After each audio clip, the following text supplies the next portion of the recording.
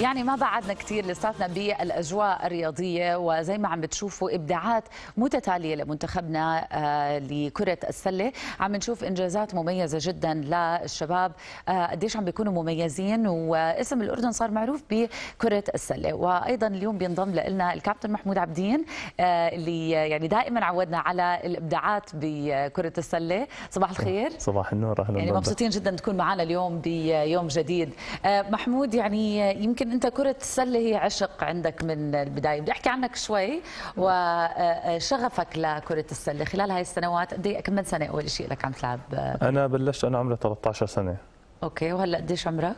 30 يعني 30. 17 سنة صار لي. 17 سنة عم تلعب كرة السلة. آه. طيب بخلال هاي 17 سنة أكيد إحنا شفنا قديش تطورت كرة السلة أو فترة شفناها قد إيه كان في حماس لكرة السلة ورياضة كرة السلة وكنا دائما بكل عشق نروح نحضر مباريات كرة السلة. رجعت بردت شوي وهلأ رجعنا لنفس الشغف والحماس اللي صالة الأمير حمزة كانت تحتضننا جميعا ورجعت.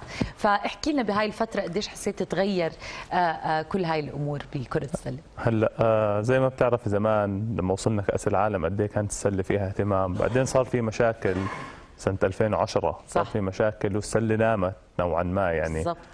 وأندية سكرت. كان كل سنتين ثلاثة نادي من الأندية الموجودة يتسكر فهذا الحكي ضل موجود معنا لحد شهر 10 2017 لما إجى الاتحاد الجديد برئاسة محمد عليان ونبيل أبو عطا. رجعوا رجع معهم الحماس إنهم يرجعوا السلة الأردنية. رجعوا حكوا مع الأندية رجعوا الأندية دعموا المنتخب.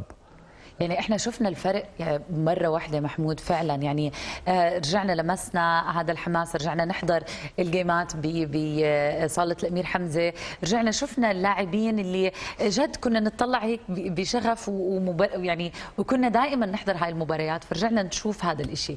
أنتم كلاعبين هل أثر على نفسيتكم هذا الإشي؟ آه، ابتعاد آه، آه، كرة السلة لفترة وعودتكم للساحة قديش أثر عليكم نفسيا؟ آه، صراحة أثر علينا كثير لأنه إحنا لما السلة نامت في البلد آه، بطل هي مصدر دخلنا السلة فصاروا كل لعيبة يروحوا للشغل وفي لعيبة منها هاجرت على أمريكا عشان بطلت السلة تقدر تعيشهم. فالإحتراف يعني التغى في البلد. بس لما رجعوا إجت الرئاسة الجديدة وبلشوا يهتموا فينا رجعت اللعيبة من أول جديد تبطل تركز على الشغل تركز على الرياضة. فهذا الشيء اللي خلانا نجيب نتائج ونفوز ونصير نطلع أول مجموعة.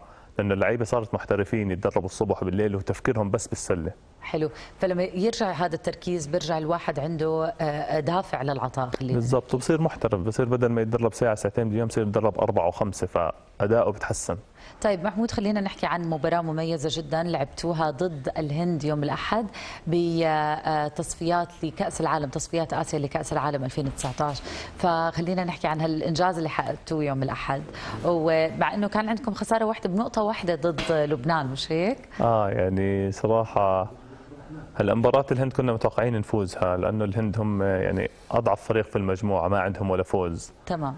آه بس برضه بنفس الوقت إحنا عملنا أداء مميز معهم يعني لعبنا مباراة م- كويسة خصوصا إحنا كنا كثير زعلانين على خسارتنا ضد لبنان.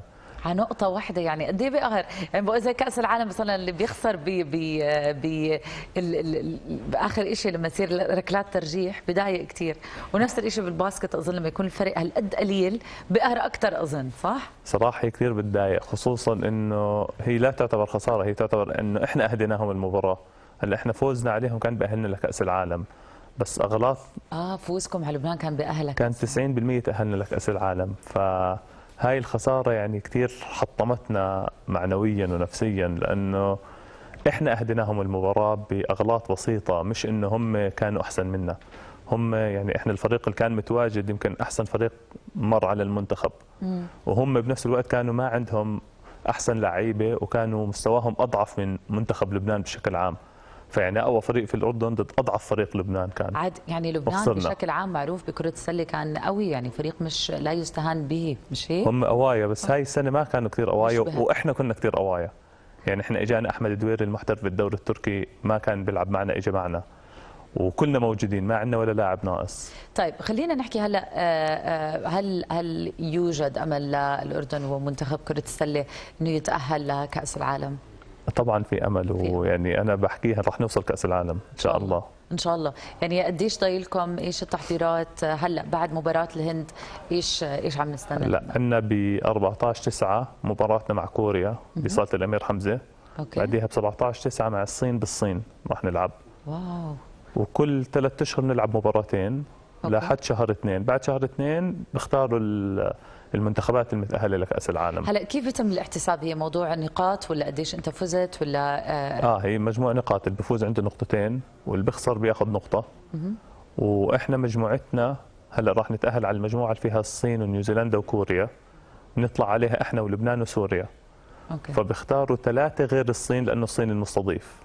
يعني الصين طالعة أكيد فإحنا ونيوزيلندا وكوريا ولبنان بيختاروا منا ثلاثة على حسب أنه عنده أكثر نقاط.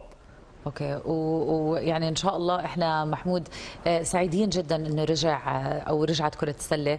بنوجه تحية طبعا للسيد محمد عليان طبعاً.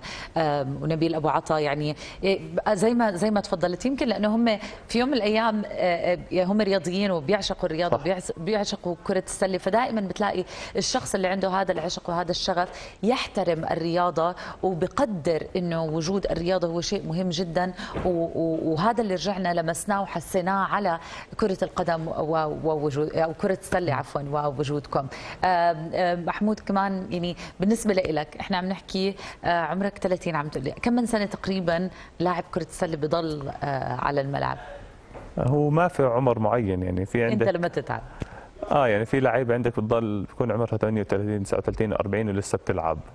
بس يعني أنا بتوقع 35 بهذا العمر يعني 34 35 36 هذا العمر بتوقع راح أوقف فيه. يعني بتوقع جسمي ببطل يقدر يعطي بعديها. رح رح رح تعتزل كنت تقريبا نص حياتك قضيتها بالملعب تقريباً. نحكي أو كره السله أنا يعني أنا على فكرة دائما بتذكر محمود يعني انت انت اصغر مني فدائما بتذكرك وانت على الملعب وبتلعب كرة من. أيام الأرثوذكسي من أيام- الأرثوذكسي فعلا ما عشان هيك ف يعني ما شاء الله عليك ونتمنى لك كل التوفيق. و... وإن شاء الله يعني نشوف اسم كرة السلة الأردنية يرجع آه، آه، يسطع يعني يرجع صدى بالوطن العربي والعالم يا رب. وإن شاء الله وجودكم بكأس العالم يكون موجود ألف. مبروك الله يبارك فيك يا آه، رب. ربحكم يوم الأحد